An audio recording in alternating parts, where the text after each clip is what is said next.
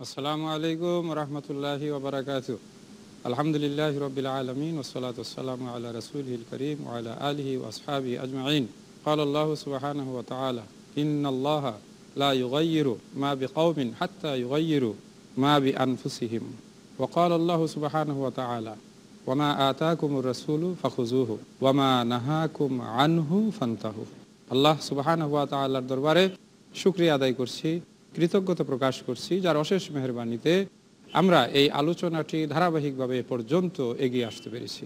দরুদ এবং সালাম পেশ করছি বিশ্বনবী মোহাম্মদুর রসুল্লাহ সাল্লাহ আলিহি ওয়াসাল্লামের প্রতি, যার আদর্শ আমাদের জন্য একমাত্র আদর্শ, অনুসরণীয় আদর্শ, বিশেষ করে আমাদের যুবকদের জন্য যিনি আমাদের শ্রেষ্ঠ প্রেষণা, প্রেরণা।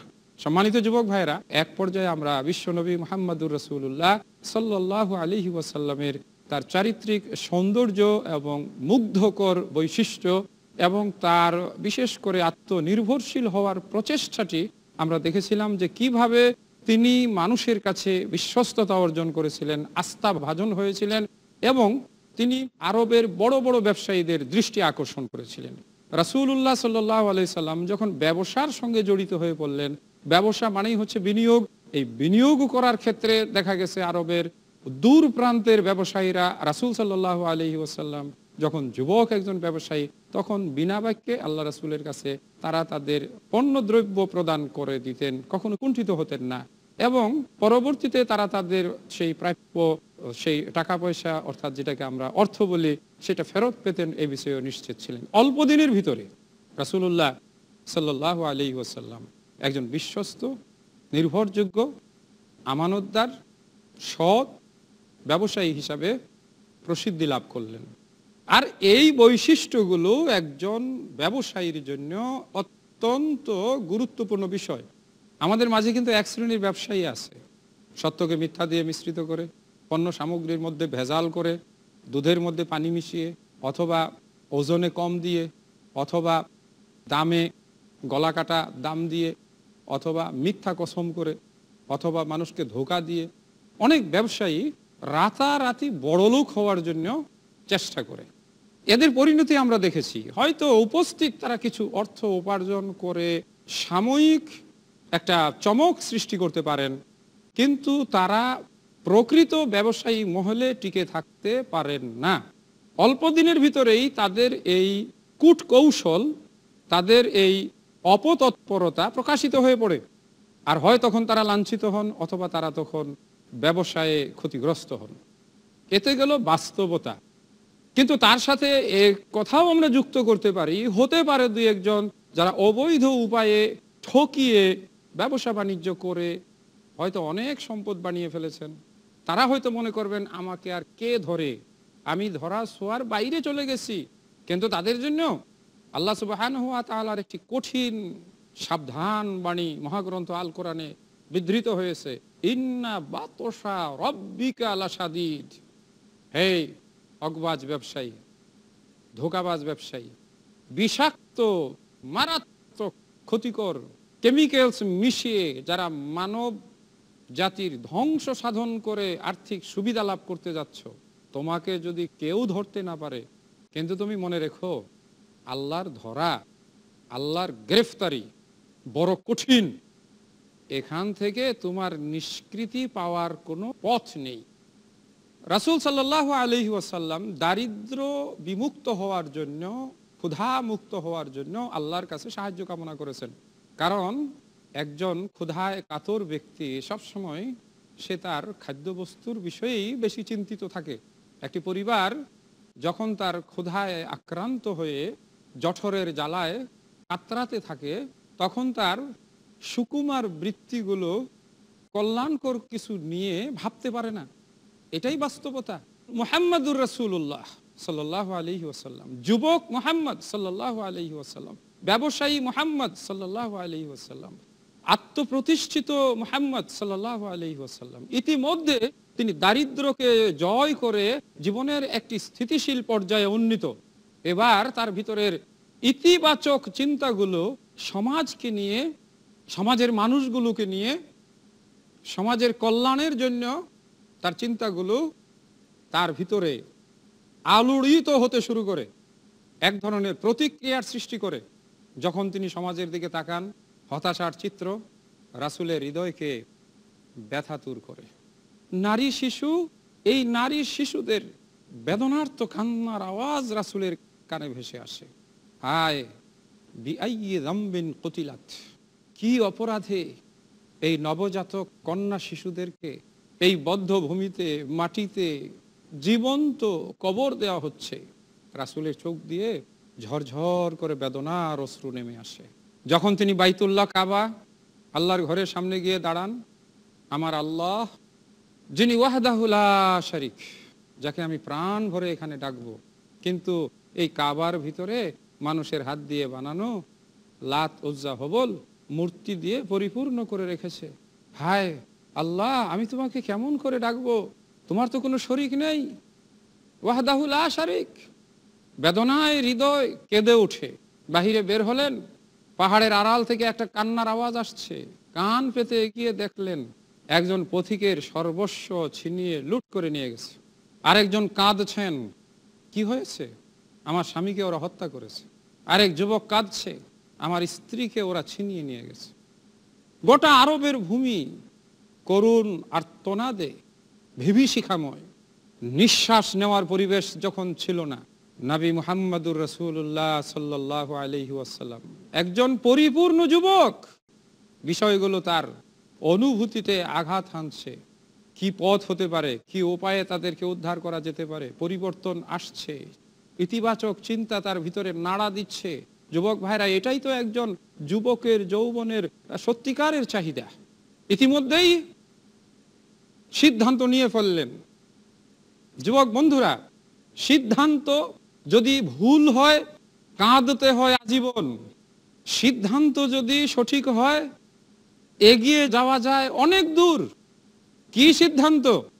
জীবন সঙ্গী নির্বাচনে সিদ্ধান্ত। যাকে নিয়ে আমাকে অনেক দূর যেতে হবে। বাকিটা জীবন। আর সেই জীবন সঙ্গী যদি সত্যিকারের মনের মতো না হয়, আমাকে মূল্যায়ন করতে না জানে, তাহলে সেই সঙ্গীকে নিয়ে পথ চলা বড় কঠিন। নবী মোহাম্মদুর রসুল্লাহ সাল্লাহ আলহি বাবা হারা এতিম, মা হারা সন্তান, অনাদরে অবহেলায় বড় হওয়া, বিশ্বস্ততায় এগিয়ে যাওয়া, এই যে তার আত্মপ্রতিষ্ঠিত হওয়া এবং এখানে এসে দাঁড়িয়ে একটি চমৎকার আশ্রয়, বলা যেতে পারে একটি ছায়া, একটি মায়া, যথাযথ নির্বাচন আর এরই মধ্য দিয়ে জীবনের দ্বিতীয় পর্ব। অভিভাবকরা সন্তুষ্ট চিত্তে ঘর বেঁধে দিলেন। আজকে বর্তমান আধুনিক সভ্যতায় ঘর বাঁধার এই ইচ্ছেটি ক্রমে ক্রমে বিলুপ্তির পথে। যুবক বন্ধুরা, ঘর একটি আশ্রয়, ঘর একটি ঠিকানা। আমরা যেখানেই যাই না কেন, ঘরে ফিরে আসি। ঘরে তো ফিরে আসতেই হয়। আমরা একটি ঘর চাই, তাই নয় কি? কিন্তু একথা অপ্রিয় হলেও সত্য, আজকের বর্তমান আধুনিক সভ্যতায় উন্নত বিশ্বে ঘর ভেঙ্গে চূর্ণ বিচূর্ণ হয়ে যাচ্ছে।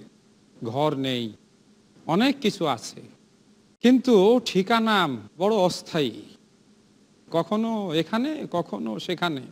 ক্লান্ত, শ্রান্ত পথিক, ঘর্মাক্ত অবয়বে একটি সুশীতল ছায়াতলে যখন একটু পরিতৃপ্তির নিঃশ্বাস নিতে একটি ঘরের আঙ্গিনায় ছুটে আসে, তখন সেই ঘর যখন বিরান ভূমি হিসাবে চোখের সামনে ধরা দেয়, তখন হৃদয়ে আসলে একটি হাহাকার ছড়িয়ে পড়ে। আধুনিক সভ্যতার, বস্তুবাদী সভ্যতার, এটি হচ্ছে একটি মারাত্মক নেতিবাচক দিক।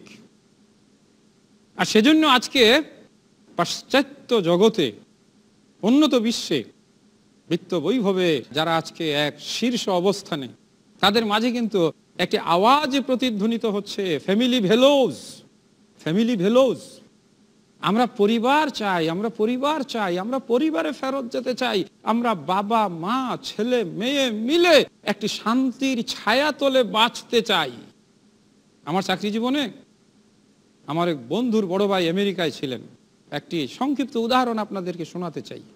তিনি যে বিল্ডিংয়ে বসবাস করতেন, ওই বিল্ডিংয়ের ওপরতলায় একজন বৃদ্ধা মহিলা একা একা বসবাস করতেন একটি কুকুর নিয়ে। কোনো একদিন এই যুবক আত্মীয়তার বন্ধন, এমনি মানসিকতা দরজায় গিয়ে নক করেন দরজা খুলে যায়। একজন বৃদ্ধা মহিলা দরজা খুলে জিজ্ঞেস করেন, কি চাই?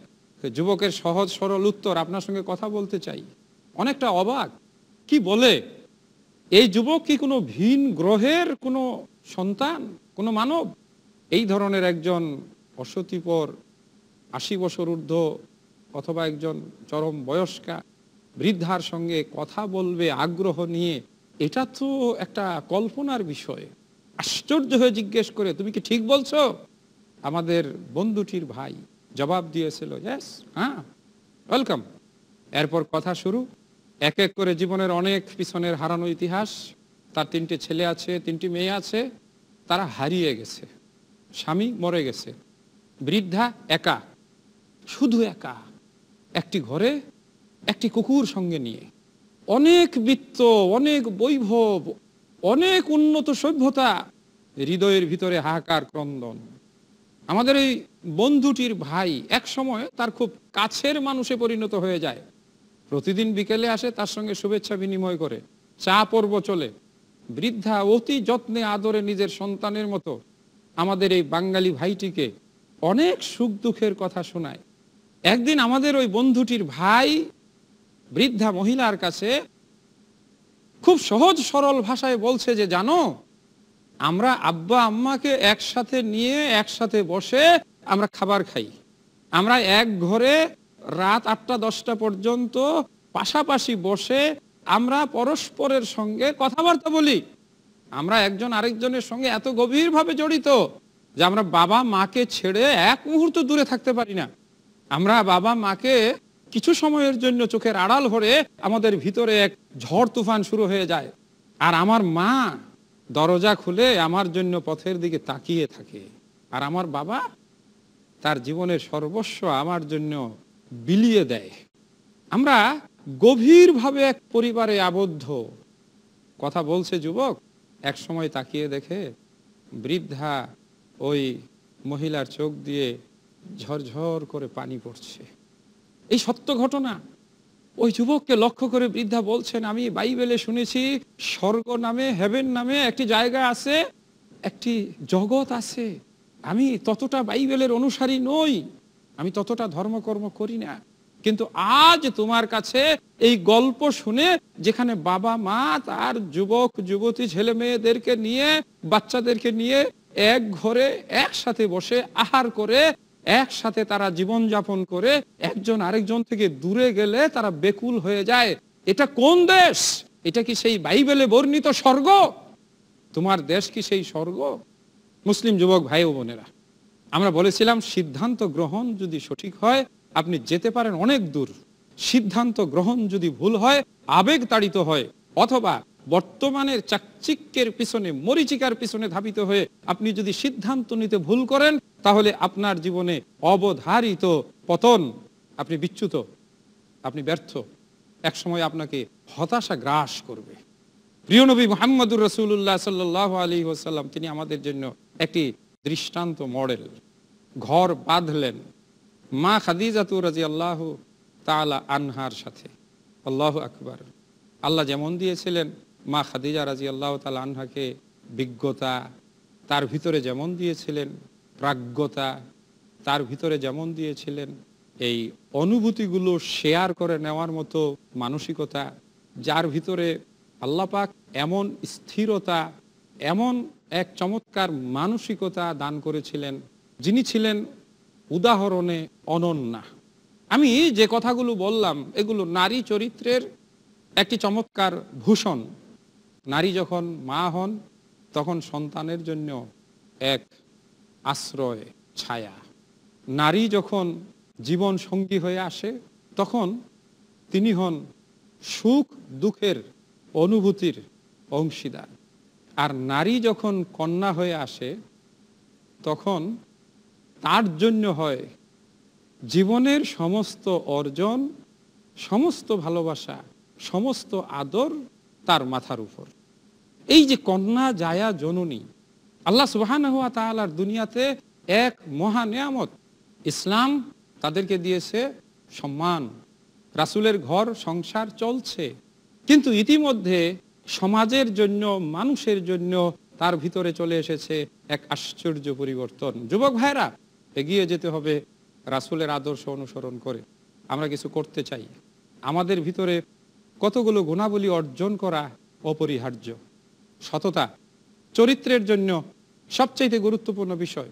যৌবনকাল পা পিছলে পড়ে, খাদে পড়ে যাওয়ার এক সমূহ সম্ভাবনা। চরিত্র যেটি হলো মানুষের জীবনের সবচাইতে বড় সম্পদ। প্রিয় নবী মোহাম্মদুর রাসুল্লাহ সাল্লাহ আলী ওয়াসাল্লাম এমন একজন যুবক ছিলেন যার চরিত্রের ভিতরে কোনো কালিমা, কলঙ্ক কেউ কখনো কল্পনাও করতে পারেনি, কেউ কখনো ভাবতেও পারেনি। শুভ্র আলোক উজ্জ্বল প্রস্ফুটিত, গোলাপের চাইতেও মধুময়, সুখময়, রাসুলের মোহনীয় চরিত্র। এই যুবকেরা, মাঝে মাঝে আমরা খুব লজ্জিত হই। আমাদের পুলিশ বাহিনীকে, নিরাপত্তার দায়িত্বে কর্মরত ব্যক্তিদেরকে, যখন আমাদের এই বখাটে যুবকদেরকে নিয়ন্ত্রণ করার জন্য তাদের উপর পদক্ষেপ গ্রহণ করতে হয়, মাথা নিচু হয়ে যায়। মুসলিম যুবক, রাসুলের চরিত্রে আদর্শবান যুবক, যাকে দেখে সারা পৃথিবীর অন্য যুবকেরা শিক্ষা গ্রহণ করবে।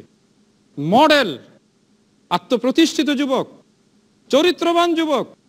আল্লাহ ততক্ষণ পর্যন্ত কোনো জাতির ভাগ্য পরিবর্তন করেন না। যতক্ষণ পর্যন্ত না তারা নিজেরা তাদের ভাগ্য পরিবর্তন করার জন্য সচেষ্ট হয়ে গিয়ে আসে। এটি নেতিবাচক অর্থে ব্যবহৃত হলেও ইতিবাচক অর্থেও এর উপস্থাপনা আলোচনা আমরা করে থাকি। বিপর্যয় দুইভাবে, একটা নেতিবাচক, আরেকটা ইতিবাচক। পরিবর্তন দুইভাবে, নেতিবাচক, ইতিবাচক। আমরা ইতিবাচক মানসিকতায় আমাদের যৌবনকে সামনে এগিয়ে নিয়ে যাব। যৌবনে আমাদের প্রতিশ্রুতি থাকবে অর্জন। আমরা সততার চরিত্রকে অর্জন করব। আমরা বিশ্বস্ততার চরিত্রকে অর্জন করব। আমরা বর্জন করব, মিথ্যাকে। আমরা বর্জন করব প্রতারণাকে। আমরা বর্জন করব অলসতাকে। আমরা গ্রহণ করব জীবনে সৎ কর্মকে। সুরায় আসরের পরবর্তী আয়াত ইল্লাল্লাদিন আমানু ওয়ামিলু হাতে ওয়াতাওয়া সৌবিল হককে ওয়াতাওয়া সৌবিল সবরে। সব মানুষ ধ্বংসের দিকে ধাবিত। তবে তারা ছাড়া যারা সৎ কাজ করে, আল্লাহর প্রতি পরিপূর্ণ বিশ্বাস নিয়ে, যারা ভালো কাজ করে, যারা ন্যাক আমল করে, ন্যাক আমল, ন্যাক মানে পুণ্য, ভালো। আমল মানে কাজ। যেই কাজ কল্যাণকর, যেই কাজ মঙ্গলজনক, যেই কাজ মানুষের জন্য, জাতির জন্য এবং আল্লাহ সুবাহ পছন্দ, এই কাজের মাধ্যমে উৎসাহ, প্রেরণা নিয়ে যারা এগিয়ে চলে প্রেষণা নিয়ে যারা নিজেদের ভিতরের শক্তিকে জাগিয়ে সামনে এগিয়ে যায়, ভালো কাজ করার জন্য, সমাজকে কিছু দেওয়ার জন্য, তারাই তো আদর্শবান যুবক। আর তাদেরকেই তো আল্লাহ সুবাহান হুয়া তালা অনুপ্রাণিত করেছেন, ওয়ালাল আখিরাতু খাইরুল্লাহ মিনাল উল্লাহ রাসুলের সামনে অবতীর্ণ এই আয়াতটি হলেও আমার দুনিয়ার জীবনের পরে পরকাল অপেক্ষা করছে। অনেক ভালো জীবন, অনেক সুন্দর জীবন।